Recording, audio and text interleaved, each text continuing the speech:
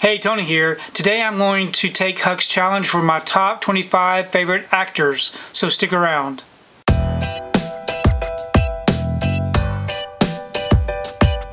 So Huck over at Huck's Pop Culture Cafe has done a new challenge. You know, we just had the A to Z challenge, and so he had just recently announced um, top 25 favorite actors challenge. So I'm going to participate in that, show you who my top 25 favorite actors are and what films they are in. Plus there's an ensemble pick at the very end, so stick around to the end to see which one I picked for my ensemble. And I cannot have the same film in this challenge that was in my A to Z challenge. So first up, when I think about this actor, there's a lot of great roles that he's been in. But whenever I think about Michael Keaton, I always think about Beetlejuice. His performance in Beetlejuice was amazing, so that's why I chose him. So Michael Keaton in Beetlejuice.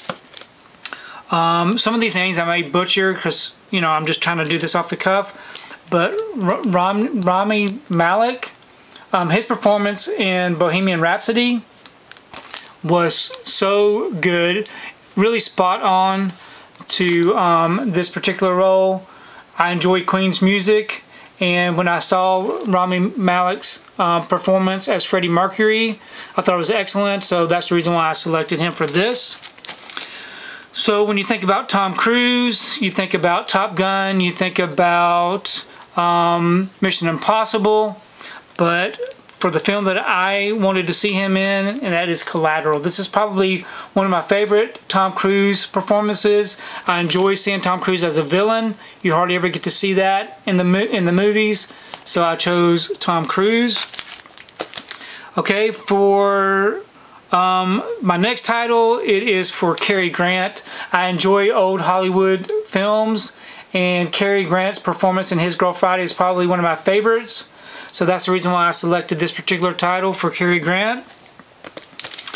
Um, another great um, actor that is fairly new to acting, I guess, over the past 10 years or so, and that is Michael B. Jordan. I enjoy the Creed films. I enjoy the um, the Rocky films. So this right here was a good follow-up to Rocky with Creed, and so I picked Michael B. Jordan for this particular um, title. Okay, next up is the performance of a lifetime for Heath Ledger, and that is The Dark Knight. I enjoy a lot of Heath Ledger's films, and when you think of Heath Ledger, this is probably one of the films that comes to mind, so that's the reason why I selected The Dark Knight. Okay, so next up, I do enjoy a good horror film, and I enjoy Bruce Campbell and all the things that he has done, TV and films, so I selected um, Bruce Campbell for The Evil Dead. Enjoy that one. Next up, I think, when I think about this person, they've had a long career, a lot of comedies, but when they really started doing some of their better work, that was with some of the drama roles. And so I selected Adam Sandler for Uncut Gems. I, I really enjoyed this film. It was a very big surprise for me. You know, I enjoyed Punch Drunk Love, but I think I really enjoyed this one a little bit more than that, so that's the reason why I selected this particular title. Okay, next up is an actor who has been in a lot of good roles, but my favorite role that he has been in is Gladiator. So Russell Crowe in Gladiator is the one I selected for him. Uh, winner of five Academy Awards, including Best Picture, so that definitely had to be selected.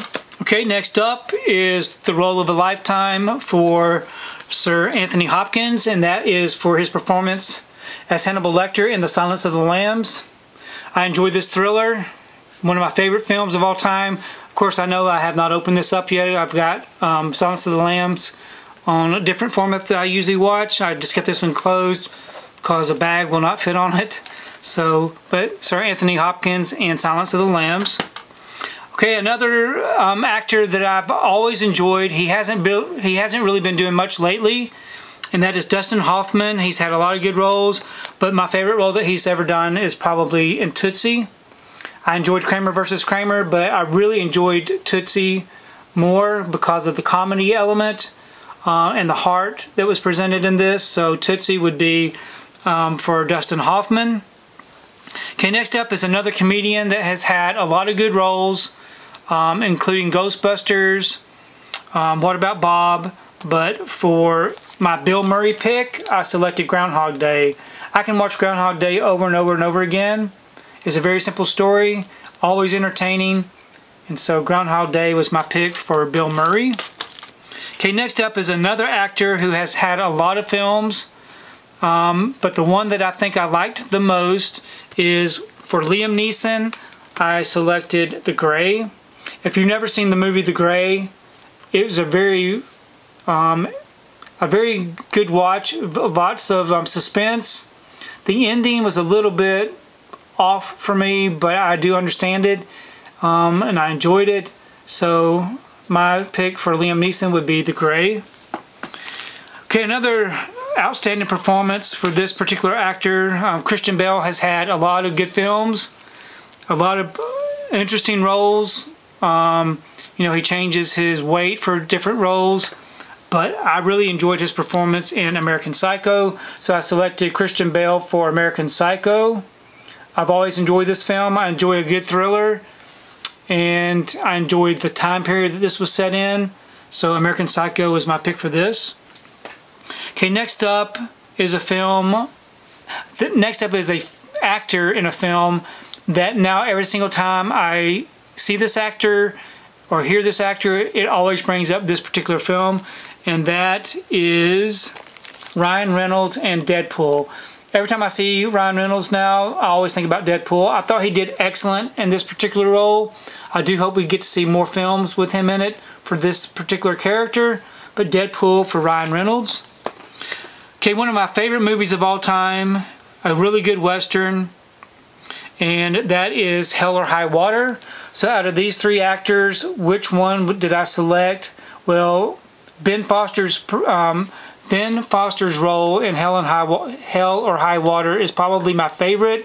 Of course, I like Jeff Bridges, um, but I think Ben Foster really stole the movie, and so that's the reason why I selected Ben Foster for Hell or High Water. Okay, when you think about actors, you also have child actors. And for this particular child actor, um, if you hear the name Macaulay Culkin, you always think about Home Alone. So my child actor would be Macaulay Culkin for Home Alone. Okay, next up is another performance of a lifetime, and that is Javier Javier Bardem. Bardem, I can't speak. But No Country for Old Men, that's one of my favorite films of all time, and I really enjoyed his performance in this film, and so that's the reason why I selected him for this particular title. Okay, next up, Sylvester Stallone is my actor for this particular film, and if you think about Sylvester Stallone, you have to think about Rocky. So I'm selecting Sylvester Stallone for Rocky. I love it. I could watch this over and over again. The Rocky franchise is probably one of my favorites. Okay, next up, is Nicolas Cage. You think about Nicolas Cage, there has been so many good movies and so many terrible movies, but my favorite Nicolas Cage film is Face Off. So I really enjoyed his performance in Face Off, and so that's the reason why I selected Nicolas Cage in Face Off. Okay, next up is a pretty new and upcoming actor. He's been in a few roles, but the favorite role of mine for him, for Bill Skarsgård, is Pennywise in the It films. He plays this Pennywise character perf to perfection. Very creepy looking Pennywise. I really enjoyed his performance. So that is the reason why I chose Bill Skarsgård. Okay, this next actor is Daniel Craig. He has been in a lot of films, but most famous for me that I like to see him in is in the James Bond role as 007 and Skyfall is the film that I selected for him. The reason I selected Skyfall is because I love the James Bond films, but there was a period of time where I didn't watch them as often as I used to, and this is the first time I went back to the theater to actually see a James Bond film, so that's the reason why I it holds a special place in my heart for James Bond, and that's Skyfall. So Daniel Craig's performance as James Bond, to me, it's probably one of my favorite Bonds. Okay, next up is Keanu Reeves. When I think of Keanu Reeves, you have Bill and Ted's Excellent Adventure and all of his other great performances. But now, whenever I think about Keanu Reeves, I always think about John Wick. I enjoy John Wick. These are some very fun films to watch. So I chose Keanu Reeves for John Wick. Okay, another film from my childhood growing up, I think from 1978, when we first got our when we got our very first Superman film, and that is Christopher Reeve and Superman the movie. Um, I remember seeing this one in the theater when it came out. The only time we ever saw Superman was on TV in black and white or in the cartoon, so it was so good to see this character come to life on the big screen, and so that's the reason why I chose Christopher Reeve for my actor. Okay, lastly, for the 25th um, title for my actor is Leonardo DiCaprio. I think he's had some really great performances. I enjoyed What's Eating Gilbert Grape and a lot of his other films, but I think this right here is a film that he probably had his best role in. And so The Wolf of Wall Street is the one that I selected for um, Leonardo DiCaprio. So those are my 25 actors. Now I'm going to move on over to my um, um, ensemble pick. So I needed to choose a film that had mostly male actors in it. So I think I did a good job of that. And I selected Young Guns. So for Young Guns, of course, we have Charlie Sheen, Lou Diamond Phillips, Kiefer Sutherland, Emilio Estevez, and a cast of all these other um, gentlemen. So that is my ensemble, my ensemble pick. So those are my films that I selected for my actors. Please leave me a comment below. And let me know what you think about the actors that I selected. And also let me know what some of your recommendations would have been because I really do enjoy reading your comments. If you like what you saw here today, please give it a thumbs up and share the video. If you haven't subscribed to my channel, I really appreciate it if you would subscribe. If you do subscribe, please remember to hit that notification bell so that you can be notified every time I upload a new video. If you haven't found me on my social media accounts, I'm on Instagram, TikTok, and on Twitter. If you'd like to find out what I've been watching, you can find me over on Letterboxd. I do have links below. But thanks again for watching, and we will see you next time.